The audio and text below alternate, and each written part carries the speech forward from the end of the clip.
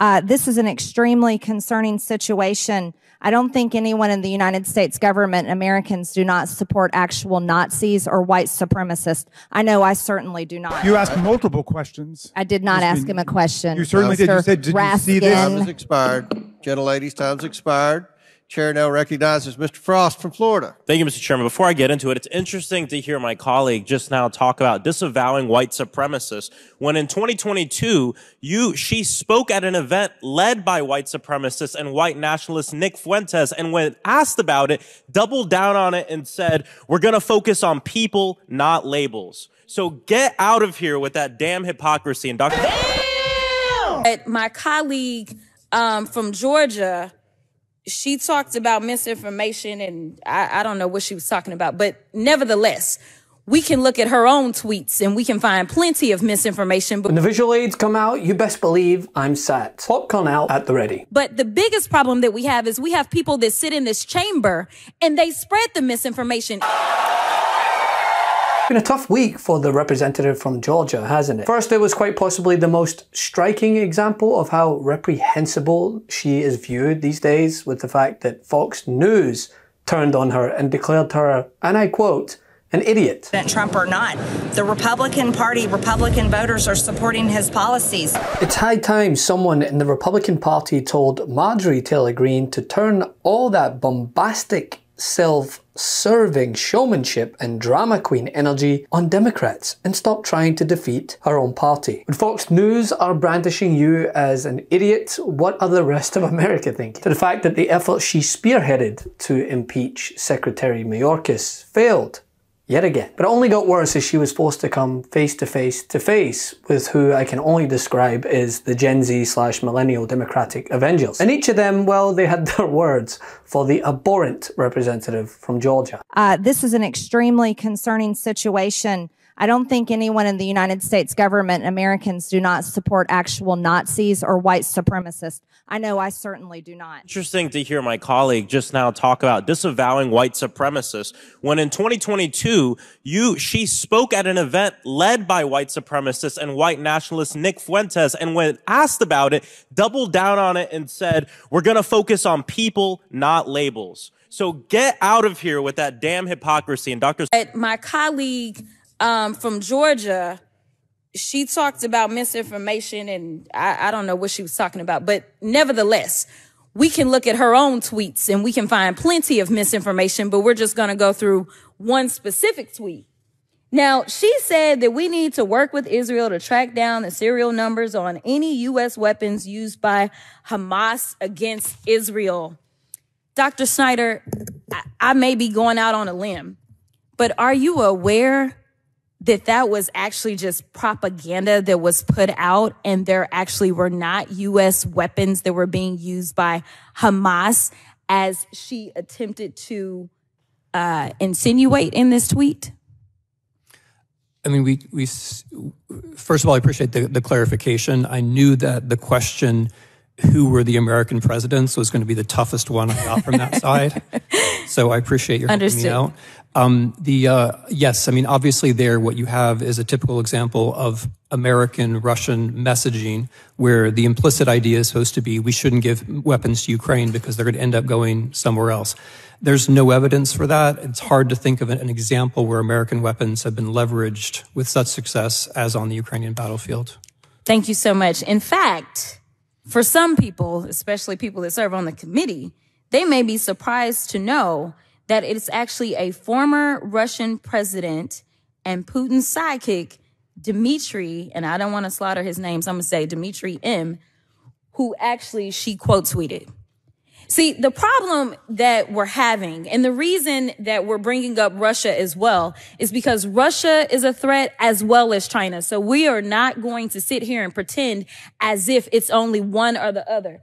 But the biggest problem that we have is we have people that sit in this chamber and they spread the misinformation. If it was left in Russia or China, whatever. But the problem is that you have people that sit in positions of power and they, they, they have a $2 million budget. You think that they would call on some staff to find out if they were telling the truth about the things that they're putting on social media, but instead it works for their rhetoric. Now, it's one thing to call attention to her vile rhetoric and disinformation, but it's another to further highlight that she's not an anomaly. In fact, she's upheld as a beacon of level headed governing in the Republican Party. Don't take my word for it. Take former Speaker, yeah, way back, you need to go back, Kevin McCarthy's words. I think they made a mistake by not funding Israel earlier.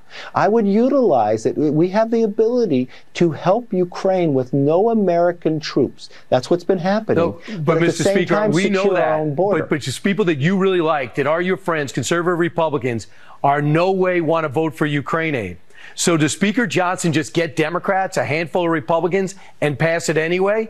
And if that well, does in fact happen, Marjorie Taylor Greene says he's, she's going to look to recall him like what, uh, what Matt Gaetz did to you.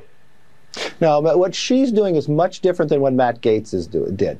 Um, she didn't make it privileged, so it's not up for a vote. And the one thing I've always found about Marjorie is she's a very serious legislator that deals with policy. And the best way to deal with anyone like that is sit down and talk to them. I don't believe the speaker has spoken to Marjorie.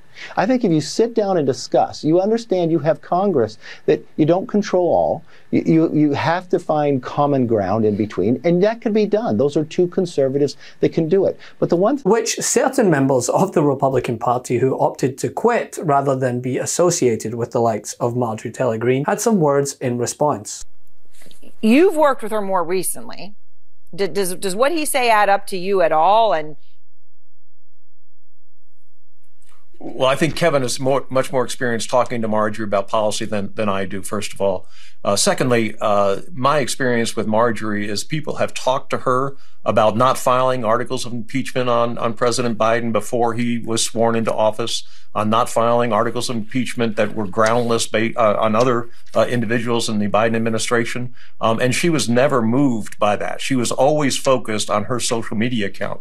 And, and Moscow Marjorie is focused now on this Ukraine issue and getting her talking points from the Kremlin and making sure that, that she is popular and she is getting a lot of coverage.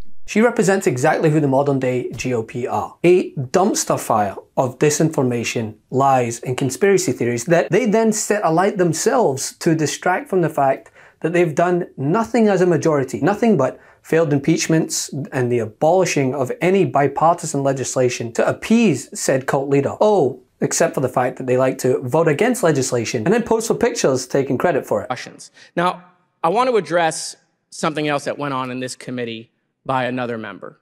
And I, I say this as someone whose grandparents uh, escaped the Holocaust. So my grandmother was part of the Kindertransport out of Germany. Uh, her parents were killed in Auschwitz. My grandfather, her husband, escaped Poland from the pogroms. Um,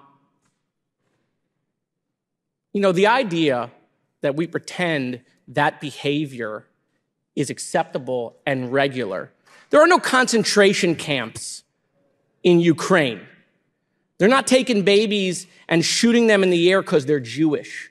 There's no gas chambers. There's no ovens.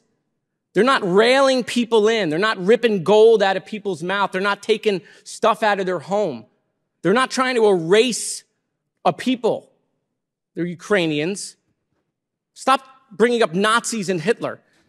The only people who know about Nazis and Hitler are the 10 million people and their families who lost their loved ones, generations of people who were wiped out. It is enough of this disgusting behavior using Nazis as propaganda.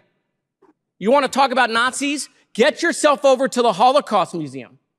You go see what Nazis did. It's despicable that we use that and we allow it and we sit here like somehow it's regular. And yet they have the unmitigated gall to claim that Democrats are the ones that get nothing done. Disappointed are you at the speaker? Um, very. I mean, I'm I'm well past the point of, uh, of giving grace here. I haven't made up my mind yet. Each one of these, each one of these is a legislative session. So this will be the 107th Congress. That's the first year of the 107th Congress, the second year of the 107th Congress. See that one down there at the end? Barely? That's us. All right? We're not doing anything. we're not, and by the way, the things we are passing are mostly post offices and, and the like. We did a couple of big things, the National Defense Authorization Act, which is done every year and has been for, I don't know, decades. But in terms of bills passing to make a difference to the American people, we're not doing it. And that's because we've become so hyper-partisan. Uh, I mean, I know that politics has long been known as the art of the possible. Now it's the art of the impossible, which is how can I introduce legislation that can't possibly win, which excites my base, which gets my wing to be excited about what I'm doing. How can I pass things? How can I introduce legislation that therefore will never become law? And we have more and more people that have gone to Washington to make noise, not to make law. And, uh, and I frankly, uh, looking at what it would be like to be in the Senate for the next seven years and that gets something done. And that's not for me. Uh, I want to get stuff done. I'm glad that I was there during a time when bipartisanship worked and we got a lot of things done. But I think those days are over for a while. I'm not sure when it will change, but I don't see that happening for a while. Love this video? Make sure you stay up to date on the latest breaking news and all things Meidas by signing up to the Meidas Touch newsletter at MeidasTouch.com slash newsletter.